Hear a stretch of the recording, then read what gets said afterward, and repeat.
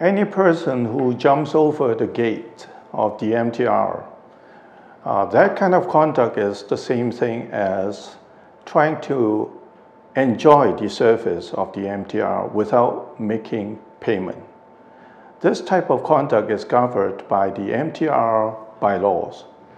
Uh, by its title, MTR bylaw, a lot of citizens believe that that might not be a criminal offense, but in fact it is the wrong perception because um, the conduct, if it is unlawful, then according to the bylaw of the MTR, there are penalties involved. The penalties involved include um, the offender having to pay for a certain fine or even imprisonment. Now, if we are talking about imprisonment or payment of fine, that means only can, uh, only can the, um, the court enforce it.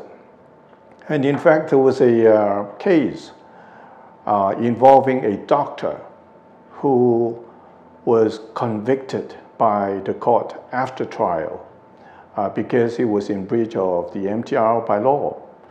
Uh, that means he, at the end of the day, was uh, having a criminal conviction. So he will be having a criminal record.